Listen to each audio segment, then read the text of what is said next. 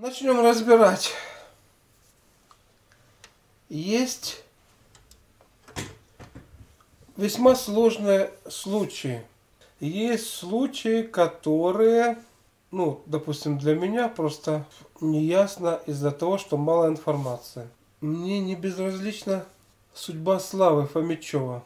Но я знаю, что что-то, ну, будем говорить, просто-напросто э, человек при своем рассказе – счел ненужным или, как бы сказать, эм, не захотел рассказывать какие-то подробности из своей жизни, которые, вот, будем говорить, вызвали такое потрясение в его семье.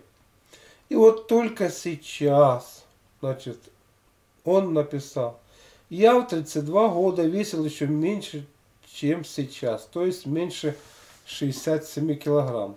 Потом при обмене квартиры нас обманули, и мы потеряли две комнаты. Мама попала в психбольницу, у меня тоже был сильный стресс. Все, дальше, дальше я даже и читать не буду. Я вам привел прекрасную статью про гипертонию, в которой указана шкала стрессов, шкала потрясений, которые оставляют следы в нашем сознании, если, при условии, если мы к этому неправильно относимся.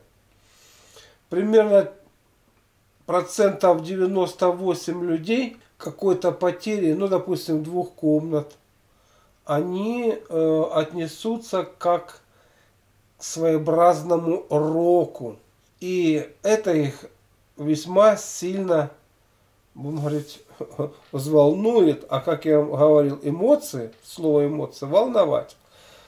Что они волнуют? Прежде всего они волнуют нашу энергетику, оставляют в сознании, э, будем говорить, хочется так сказать, файл, э, такой вирусный файл, можно так сказать, то есть составляют своеобразную программу, что вы сделали что-то не так, то есть программа самобичевания, самообвинения и, и, и прочее, прочее, что вот потеряли комнаты. То есть это вас застреет там в глубине и, естественно, дальше с уровня сознания передается на энергетику, то есть поле перекручено уже появляется. Далее, значит, э, когда вот такая вот энергетика, понимаете, а, вот, вот так вот обманули, у человека начинает совершенно по-иному работать весь его организм, начиная от гормональной системы и даже заканчивая геномом, так уж я скажу. Если я как раз и писал, ну вот произошло событие, оно уже произошло, и вы на него никак повлиять не можете. Если можете, то влияйте. Если не можете, значит просто-напросто примите его. Примите его и дальше живите, как ни в чем не бывало. Вот в этом и заключается мудрость. Если вы можете повлиять, и у вас есть желание влиять, влияйте. Если вы на него не можете повлиять, оно уже произошло, все, назад ничего не вернешь, Просто-напросто его примите, сделайте выводы и живите дальше в соответствии с этими выводами. То есть это как урок, который надо пройти. Когда мы это событие, оно уже случилось, а мы все его, как бы сказать, не принимаем, отвергаем, то у нас и появляется следующее, что мы попадаем в психушку. Далее все у нас извращается, у нас начинает неправильно работать организм, различные сбои идут и так далее, и так далее. Кстати, в первую очередь реагируют на подобные сбои, это пищеварительная система. Запор, понос или еще что-нибудь так, в таком духе, это ее типичное проявление. Поэтому я говорил, успокойтесь, успокойтесь. То есть ничего сложного нет. Вообще в нашей жизни ничего сложного нет. Все зависит от того, как мы относимся к жизненным событиям. И в зависимости от этого отношения дальше развивается шлейф последствий. Мы приняли это событие и, как бы сказать, сделали выводы, забыли и дальше живем. То есть ничего не случилось. Мы нормально проработали эту жизненную ситуацию. Если же мы ее не приняли, это все равно, что значит вот рвота у нас образуется. Мы, мы не хотим, то есть вот то, что мы умственно не принимаем, оно как раз отражается и на пищеварительной системе, то, что мы тоже не, не принимаем пищу. То есть это все так интересным образом связано. Значит, мы получили осложнения, от которых выход только один. Это тот, который я сказал. Если мы это вообще не понимаем, не хотим понять и так далее, нас начинают лечить, но вот это э, событие, тлеющее внутри, что у вас, значит, обманули, что вас вот поимели, что на вас нажились, что еще что-то, оно просто-напросто не дает жить. Просто-напросто оно является своеобразной отравой, которая отравила вашу жизнь. То есть, я уже много раз говорил, смотрите мои книги, читайте там газеты. Я подчеркиваю такие вещи, что наша жизнь, все, что творится вокруг нас, все это так или иначе влияет на наше сознание. И в зависимости от того, как мы это воспринимаем, нормально, либо отвергаем, либо еще как-то там хотим там что-то там сделать. Э, вот. Э, это уже вызывает последствия в нашей физиологии. То есть с уровня сознания все сбрасывается на приемник, на головной мозг.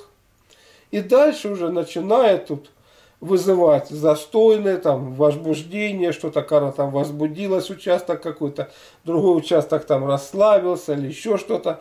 Все это, естественно, далее влияет, значит, на э, гормональную систему. Все это далее влияет, раз у нас тут какие-то застойные явления, на наши, значит, э, состояние тонуса мышц, возникают спазмы, и далее разлаживается вообще вся вся физиология. В данном случае, в данном случае, вот пытаются с уровня физиологии современная медицина подействовать, как бы сказать, вот человека привести в какое-то там состояние э, нормальное. Хотя я вам рассказываю, не знаю, ли, либо я не, неправильно вам рассказываю, то, что либо вы вообще не понимаете эту простоту, эту наглядность, которая есть. Коню ясно, что все началось вот с того, что у человека случилась, будем говорить, потеря, которую он воспринял как горе, а не как урок. Это разные вещи. Благодаря уроку мы можем стать сильнее, мудрее. Благодаря горю мы можем развалиться. То есть это такой показательный случай, который вот как раз показал уровни здоровья и как они между собой взаимодействуют. Поэтому тут ни о какой соде, ни о каких там э, перекиси водорода там, или еще чего-нибудь и, э, и речи нет. Тут затронуты совсем иные вещи, на которые надо обратить в первую очередь внимание, с которыми надо работать, и остальное все выровняется. А так можно действительно заниматься здоровым образом жизни, вот, но при этом в голове иметь вот таких вот, будем говорить, э, завихрения и толку от такого образа жизни никакого не будет. Упоминали Савелия Крамарова. Он вел там вот сыроедение, то есть то, все, пятое, десятое. Но опять-таки сыроедение сыроедением, вроде бы это должно, как бы сказать, повлиять. Но человек многогранная система, и что происходит? То, что творится в его сознании, а он там был не затребован, а его там жена просила, чтобы он подрабатывал таксистом, на что он не соглашался. То есть вот эти вот терки в семье, творческая какая-то вот особо невостребованность какая-то там, понимаете. Одно дело человек что-то хочет такое, а ему предлагают несколько совершенно иное, и он либо должен сломаться и пойти на это. Но любая ломка внутри себя, это все равно, что говорит, разломать самого себя на, на уровне, как бы сказать, энергетики. И дальше все это спустится на физиологию. Вот такие вот вещи надо, надо понимать. И в заключение я вам приведу пример, который написала женщина. Она, значит, пишет следующее, что я там что-то там вышла на пенсию или, или в предпенсионном возрасте была. Кстати, сама медик. Говорит, я была развалена и все, думаю, тут вот немножечко тут мне осталось пожить, как-нибудь доживу. Вот такие вот мысли были. И тут попадаются, значит, мои книги. Она начинает заниматься. Говорит, я стала чувствовать себя совсем по-другому, стала выглядеть совсем по-другому. Я вспомнила язык иностранный, который когда-то там изучала. И через какое-то время меня пригласили и на работу. То есть оздоровление подлинное, которое начинается, она затрагивает все уровни человеческого существа физиологию, энергетику, психологию и наконец-таки выходит на уровень вот, э, общения с окружающим миром. То есть и он улучшается, понимаете? Вот что интересно. Либо наоборот, начинается с ухудшений во внешнем мире, событие произошло и кончается разлаженной физиологией. И здесь не гены играют роль, гены у всех одинаковые и я сам, гена, а играет роль наследственность. Какая у вас наследственность, в какую семью вы попали, как вас поддерживают предки, как вы с ними взаимодействуете. Вот, какие наработки были у вас сделаны, что вот жизнь у вас, говорит, вот так вот покатила нормально. Либо наоборот она как скачет по кочкам и проваливается то с одной ямы в другую. Вот об этом я хотел с вами поговорить. Такая вот беседа несколько сумбурна, но тем не менее на эти темы всегда э, говорить как-то сложно. Но я думаю, что я донес свою мысль, что получилось со Славой и как ему выйти, и как ему поговорить со своей мамой, сказать, мама, ну потеряли и потеряли, ну поучили нас люди.